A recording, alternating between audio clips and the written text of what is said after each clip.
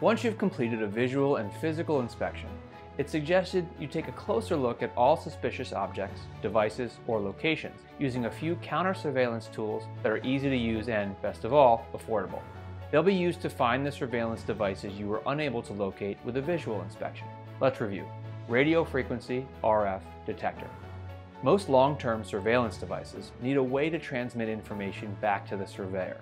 An RF detector works by scanning the area in search of devices emitting radio waves. Once detected, they'll produce an audible tone that fluctuates as the detected device is closer or further away. This will continue until you're able to locate the device emitting the radio waves camera lens detector.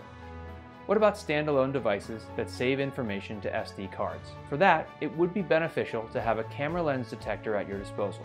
A camera lens detector works by detecting the reflection of the light off of the lens of a recording camera.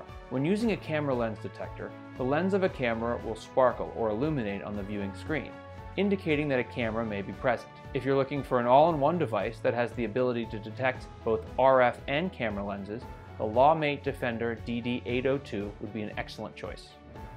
Turn off emitters. Before beginning your sweep with an RF detector, it's important to ensure all devices that could possibly emit an RF signal are fully and completely powered down. Be sure to power down all cell phones, Bluetooth devices, laptop computers, tablets, etc.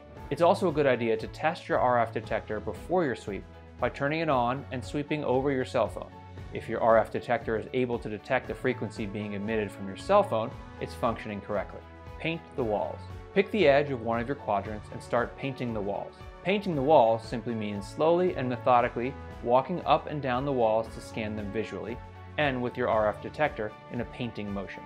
As you complete this process, you should also visually inspect the walls for any sort of disturbances or unusual anomalies. At the same time, keep an ear out for your RF detector. Paint the walls until you reach the end of your quadrant. If nothing's detected on that pass, mark that quadrant clear for any transmitting devices and move on to the next one.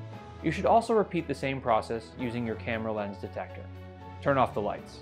Turn off the lights and look for any tiny lights that seem out of the ordinary. Most spy cameras have indicator lights that'll tell the user if the camera is recording or powered. If the surveyor neglected to turn these indicator lights off, you can use their mistake to your advantage by easily detecting them and locating them.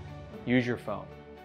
In order to record video at night, most spy cameras will need some type of infrared technology to illuminate the scene. One quick and cost-effective way to detect infrared light is by using the front-facing camera on your phone. To try this at home, grab your TV remote and open the front-facing camera on your phone.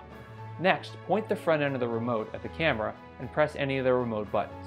The infrared light that's normally not visible will be completely visible on your camera screen. Infrared light is easy to conceal and hide from unsuspecting victims of surveillance. Keep this in mind when conducting your sweep. With the tips in this video, you can find the tools you need to carefully check your surroundings for recording devices. If you'd like more info about surveillance and hidden cameras, then visit our site today. And if you enjoyed this video, don't forget to like, comment, and subscribe.